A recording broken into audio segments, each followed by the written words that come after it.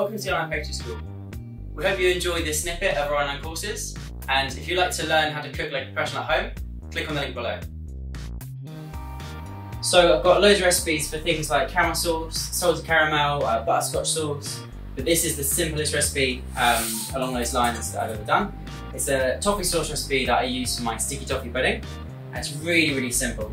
So we've just got some cream here, and some dark sugar.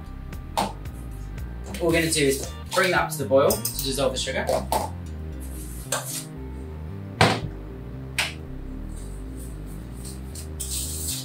And because you're already using dark sugar, you won't need to caramelise your caster to start with. All you need to do is melt it together, and add the butter, I'm to pass it, and that's literally it.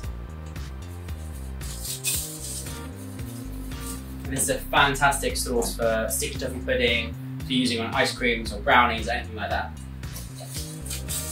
So you can make it in literally seconds.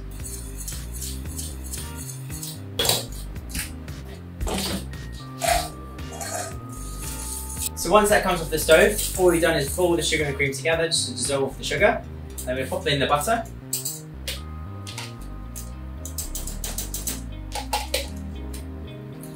And it's gonna melt that butter into the mix.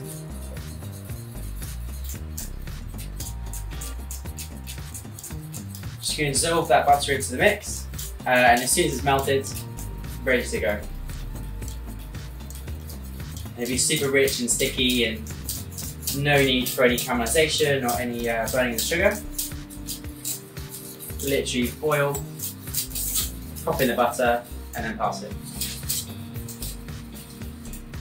So just going to pass it through a sieve just to make sure there's no bits left in the, in the sauce. Any odd bits of sugar or butter or anything like that.